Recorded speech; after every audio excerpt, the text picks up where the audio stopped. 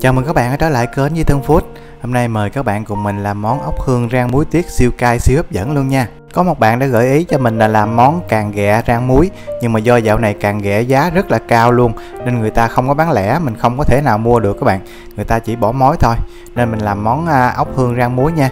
Để làm món càng ghẹ rang muối thì các bạn chỉ cần thay đổi nguyên liệu chính ốc hương thành càng ghẹ Và công thức làm cũng y như vậy luôn. Đối với các quán chiên ốc á, thì cái món rang muối tiết này là những món đinh đó các bạn không thể nào thiếu trong thực đơn luôn á. Nếu các bạn thích món này xin mời con vào bếp thực hiện với mình nha.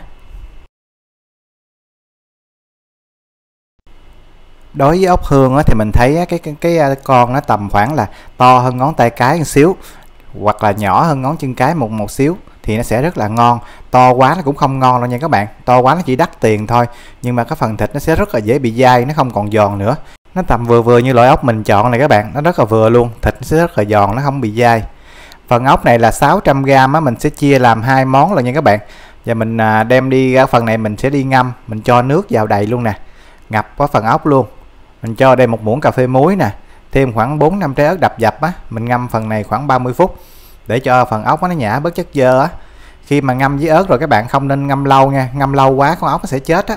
Từ à, 30 phút cho tới 45 phút là được rồi khi mà ngâm xong mình sẽ đem ra mình rửa sạch lại. Để cho phần ốc nó thơm ngon không bị tanh á, thì mình sẽ chuẩn bị một cái nồi nước để mình đi luộc sơ cái phần ốc.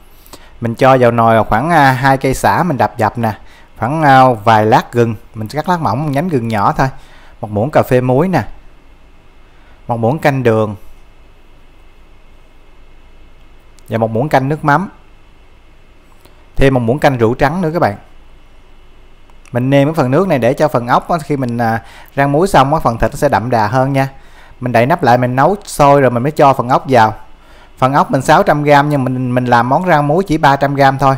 Còn 300g mình sẽ làm món à, luộc xả là mình không có chia sẻ. Món đó thì đơn giản rồi. Mình cho 300g à, ốc mình đã ngâm lúc nãy nè, mình rửa sạch lại. Nước sôi mình cho vào, mình đảo qua đảo lại khoảng chừng hai ba phút là mình vớt ra được rồi. Chỉ cần các bạn thấy nó rớt cái mài ra là mình có thể vớt ra nhưng mình không cần đừng có luộc chín kỹ nha phần ốc này các bạn thấy nó rớt cái mài ra là mình vớt ra được rồi. Do mình nó rửa sạch lại rồi á, mình chỉ vớt ra mình để ráo nước thôi, mình không cần phải à, rửa lại đâu.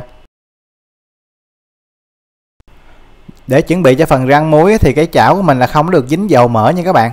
Mình cho vào đây 100ml nước nè. Nó khoảng nửa chén á. Mình thêm à, một muỗng cà phê, cái này là muối tôm tây ninh á và tiếp tục mình cho đây là hai muỗng canh đầy bột ngọt. Với món này là không sử dụng đường phải sử dụng bột ngọt nhiều. Cho nên các bạn nào mà bị dị ứng cái bột ngọt á, thì mình sẽ bỏ qua món này. Mình không ăn rang muối tiết mình chuyển qua rang muối thường á. Rang muối thường thì nó không có bám vào con ốc giống như cái rang muối tiết. Cho nên nếu các bạn nào mà dị ứng bột ngọt á, thì vui lòng bỏ qua chứ đừng nói là tại sao lại dùng bột ngọt nhiều quá nha. Đối với rang muối tiết là phải sử dụng bột ngọt thì mới bám vào con ốc được và một phần gia vị mình làm hôm nay là sẽ cho 300g ốc là bằng với một ờ, phần mà các bạn thường hay kêu ở quán á. Và mình thêm vào đây là một muỗng canh ớt xay một muỗng canh vơi à. Cái phần này là nó là sẽ cay nha các bạn nên tùy cái độ ăn cay của mình mà các bạn có thể gia giảm phần này. Phần này các bạn có thể bớt. Còn cái này là một muỗng canh là nó siêu cay nha. Còn mình à, ăn cay không được thì mình sẽ giảm lại không sao cả. Đầu tiên các bạn cứ mở lửa trên trung bình mình nấu sôi cái phần này trước cho nó tan gia vị tan đều gia vị nè mình sẽ nấu sôi phần này khoảng 1-2 phút để cho nó tan đều gia vị cũng như cho cái phần nước nó sắc xuống bớt á, để cho mình à, khi mình cho ốc vào nó sẽ mau à, cạn hơn. Để để lâu quá phần ốc nó sẽ không ngon.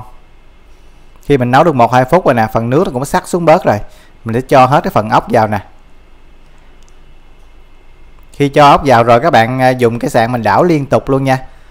Lúc này các bạn cứ để lửa trung bình không cần giảm lửa nhỏ nha mình đảo liên tục đến nào, đến khi nào mà các bạn thấy nó khô lại và cái phần phần à, muối tiết nó bám đầy trên con ốc là được.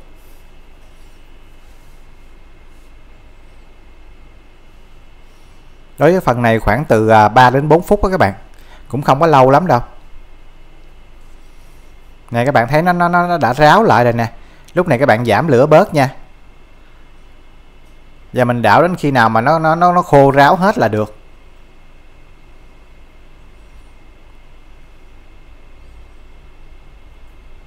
nè các bạn phần gia vị đã bám vào con ốc đầy trên ốc luôn rồi nè.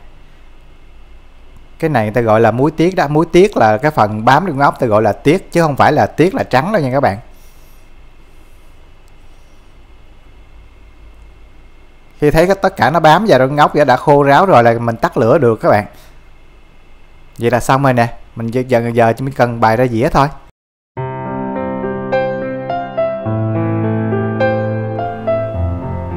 Khi bài ra dĩa các bạn có thể dọn kèm thêm một ít rau răm nè và một chén muối tiêu chanh chỉ là với cách làm đơn giản nhanh gọn lẹ mình đã có món ăn thật ngon cho gia đình mình rồi hoặc là có thể là ra lai cùng bạn bè vào dịp cuối tuần các bạn món này uống bia cực đã luôn á hoặc là dịp lễ sắp tới nè các bạn có thể trổ tài cho bạn bè mình cùng thưởng thức Cảm ơn các bạn theo dõi hết video của mình. Nếu thích, nhớ like và chia sẻ cho bạn bè mình cùng xem.